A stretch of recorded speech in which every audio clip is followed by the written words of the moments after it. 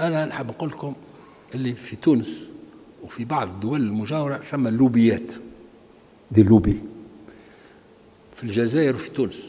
يحبوا يبعدوا التوانسه على الجزائريين. لأن لأول مرة إحنا ماشيين اليد في اليد وقاعدين نتعاونوا خاصة في ميدان مقاومة الارهاب إعانة يعني إيجابية يعني إلى آخر حد. ونحن بالمناسبة نحييه يعني إخواننا في الجزائر على التعاون معنا ومع تونس في هالميدان هذا.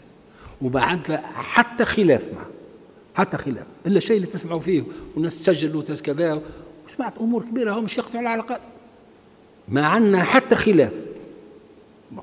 وإحنا وقت اللي ثم عندنا لبس في حاجة تكلموا.